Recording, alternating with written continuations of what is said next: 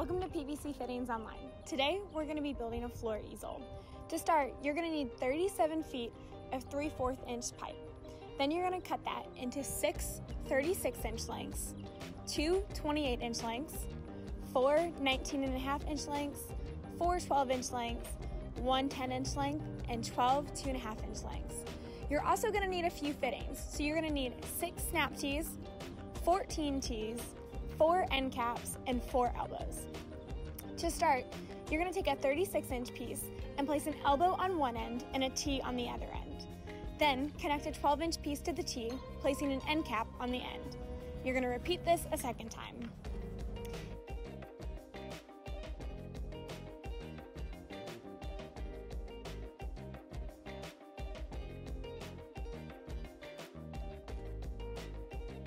In both elbows, place a two and a half inch piece and then place a T on the end.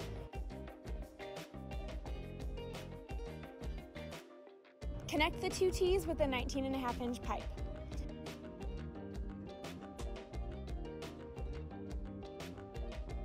Then you're gonna connect a two and a half inch piece to both T's and place a T on the ends of the two and a half inch lengths and then connect those with a 19 and a half inch piece.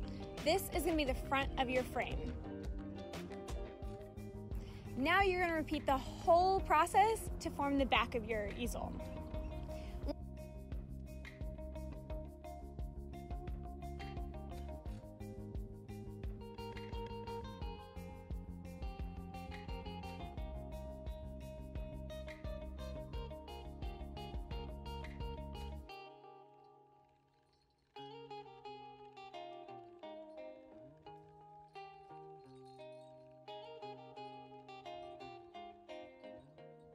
Once that's done, on the top two tees, you're gonna place a two and a half inch piece.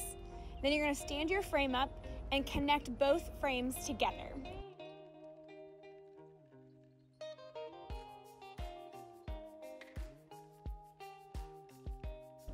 Then you're gonna connect the tees on the bottom with your two 28 inch pieces.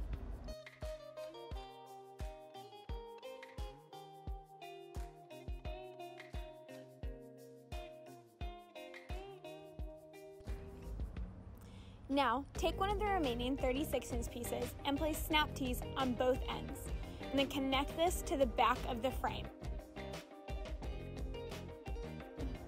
You're going to repeat this, but connect to the front of the frame this time.